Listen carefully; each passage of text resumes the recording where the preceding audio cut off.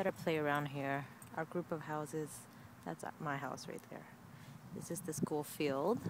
We're like right next to it, so I let her run here usually daily. Ready, Libby? Good girl. Catch. Good catch. Ready, Libby? Go get it.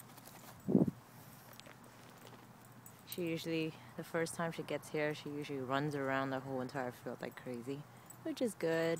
Lets her get all that stuff out of her. Come on, Libby, over here. Libby, come here. Libby, Libby, Libby, come.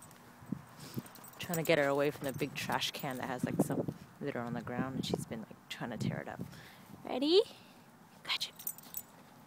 Catch it.